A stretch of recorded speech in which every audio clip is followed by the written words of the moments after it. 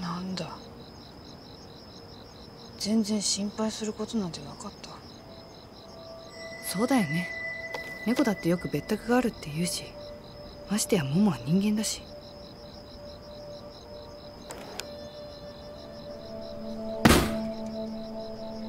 私がいない間に何してたって自由だし。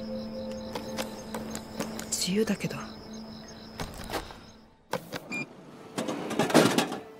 お盛んでそっちこそ。どうすんの明日？え？蓮見君来るなら俺どっか行ってよっか。別にいいよ。適当に断るし。いいよ。23日消えるから。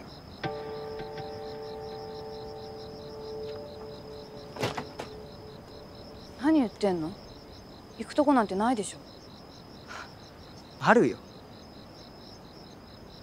3日くらいどうってことないしお金も少しは持ってるしすみれちゃん以外にも餌くれる人なんていっぱいいるから。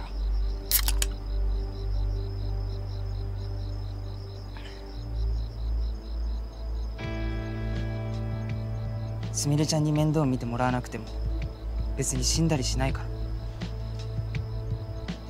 ら。はあそう。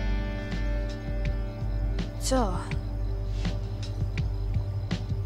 しばらく帰ってこないで。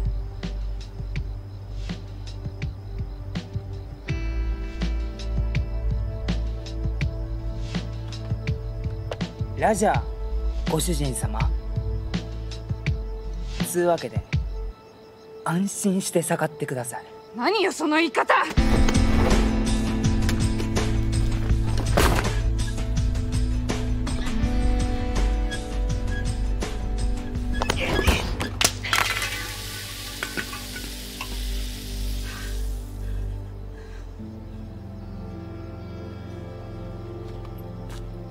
じゃあ。